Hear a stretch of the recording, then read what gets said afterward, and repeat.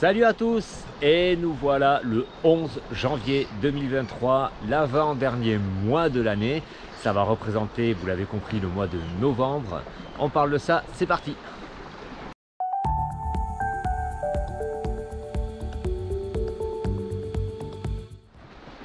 Au mois de novembre 2022, je lançais un programme d'accompagnement pour 5 euh, personnes. J'avais fait une vidéo que j'ai retirée ensuite parce que le, euh, le, programme a été rempli, les 5 personnes sont venues très rapidement. C'est encore en cours, il y a, je le proposais jusqu'à fin janvier. Et il y a, il y a plein d'endroits qui sont très passionnants, c'est super de rencontrer des gens de cette façon-là, de voir les progressions qu'il y a, de voir l'avancement. Et moi, ce que je découvre aussi, donc c'est dans le cadre de cette formation de puissance mentale que je suis en train de faire, une formation de coach mental. Euh, il a fallu que vraiment que je m'extrais de ma zone de confort pour oser faire euh, cette vidéo. D'ailleurs, ça avait été difficile de la faire, de présentation de mon programme, euh, d'élaborer, de penser qu'est-ce qu'il va y avoir, de proposer quelque chose, de se sentir, de me sentir légitime aussi par rapport à ça. C'était, euh, je me souviens de cette journée, c'était assez challengeant, on va dire. il a fallu que je sorte énormément de ma zone de confort. Ce que ça m'a appris, c'est beaucoup de choses, notamment par rapport au coaching, parce que ça me fait pratiquer par rapport à, mes outils de puissance mentale. Mais ce, que ça me montre aujourd'hui, c'est que pour moi, il y avait un côté facile, je proposais gratuitement. Parce que c'était euh, pour m'entraîner, pour, euh, pour ma formation, c'était pour tester des choses aussi, pour voir peut-être mon modèle d'affaires de coaching, à quoi il peut ressembler. Euh, donc c'était vraiment un laboratoire. Donc je propose ça gratuitement. Et aujourd'hui, j'approche euh, de la fin de ce programme et de la fin de ma formation où ben, il va falloir que je me lance un petit peu.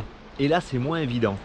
C'est moins évident d'imaginer un tarif, d'imaginer, euh, dire aux gens de, de payer pour mes services je m'aperçois ça, malgré le fait que j'ai pas mal parlé d'argent, de relation à l'argent. Il y a encore, euh, je vous invite à revenir sur la vidéo de Noël, le 300, la numéro 327. Euh, si je la remets en description, tiens. Si vous ne l'avez pas encore vu, c'est Christian Junot qui propose un programme de relation à l'argent.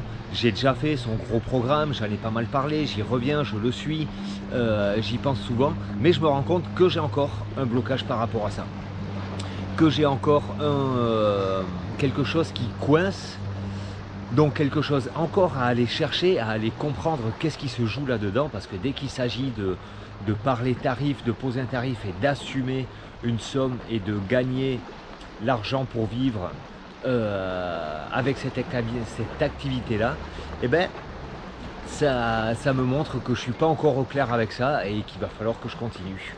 Souvent, c'est un peu c'est un peu mesquin comme ça, c'est un peu euh, subtil comme, euh, comme, relation, comme euh, ouais c'est ça, comme relation avec l'argent, parce que on se rend pas compte, on a l'impression que ça va, que c'est ok, puis on a notre petit revenu, puis mais dès qu'il s'agit de faire autre chose, d'aller demander un paiement, d'oser vendre quelque chose, parfois même vendre sur les réseaux de vente d'occasion et eh bien là on a plus de mal, on, sent que euh, ben, si on a quelqu'un qui négocie euh, fort devant nous ou même pas fort, on va baisser le prix, on a l'impression qu'on va être une mauvaise personne si on demande le paiement, ou alors moi c'est dans mon cas, j'ai l'impression encore aujourd'hui que les gens ne vont pas être intéressés à payer pour euh, des services de coaching, alors que c'est pour aller mieux, que c'est pour aller vers un but qui va peut-être même leur faire gagner de l'argent.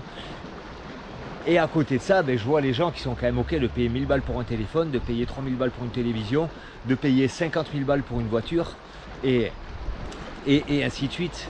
Donc, c'est comme si je ne faisais pas confiance qu'il y ait des gens qui soient prêts à investir pour leur bien-être. Euh, je pense que c'est un petit peu là la, la chose que j'ai allé à creuser. En tout cas, toujours est-il que ce que j'apprends, c'est que quand on a du mal à aller demander de l'argent ou à en donner, à en sortir, à investir, que cette relation à l'argent, elle est toujours que quand on n'en a pas, on va pas bien, que quand on en a beaucoup, on va bien, tout d'un coup, on se sent libre.